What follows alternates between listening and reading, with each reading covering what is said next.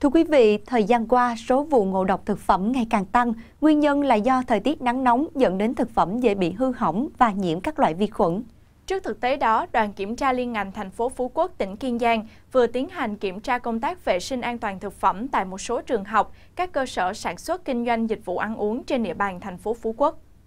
Đoàn đã tiến hành kiểm tra tại trường mầm non và tiểu học Edison nằm trên đường Nguyễn Chí Thành thuộc khu phố 11, phường Dương Đông. Ngôi trường này có 13 lớp mầm non và 4 lớp tiểu học với 230 học sinh. Đây là trường bán trú, học sinh ăn 3 bữa chính và 2 bữa phụ tại trường. Đoàn đã tiến hành kiểm tra hồ sơ pháp lý, hợp đồng mua bán thực phẩm, hồ sơ chứng minh nguồn gốc thực phẩm, kiểm tra điều kiện cơ sở vật chất, trang thiết bị tại bếp ăn của trường, bao gồm khu vực sơ chế thực phẩm, khu vực nấu nướng, khu vực ăn uống của học sinh, kiểm tra quy trình bảo quản, chế biến thực phẩm, kiểm tra việc thực hiện các quy định về vệ sinh an toàn thực phẩm, việc lưu mẫu thực đơn thức ăn. Tại Edison thì không chỉ là sẽ chăm nuôi dạy các bé về kiến thức, về các kỹ năng và thực phẩm cũng là một trong những mục tiêu đặt lên hàng đầu của trường từ khâu chọn ờ, thực phẩm bên ngoài đến ờ, khâu chế biến cũng như là các cái uh, quy định về an toàn thực phẩm từ lưu mẫu tất cả các cái vấn đề liên quan đến an toàn thực phẩm.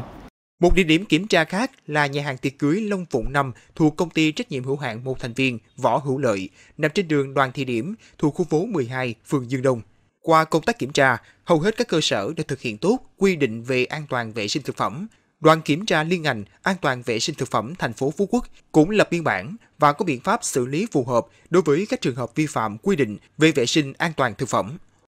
Các cơ sở cũng ờ, ừ, thực hiện tốt cái công tác đảm bảo an toàn thực phẩm trong cái ờ, ờ, đợt kiểm tra lần này cũng cũng có một vài cái lỗi nhỏ nhỏ thì đoàn cũng ờ, nhắc nhở các cơ sở để ờ, mình thực hiện tốt hơn.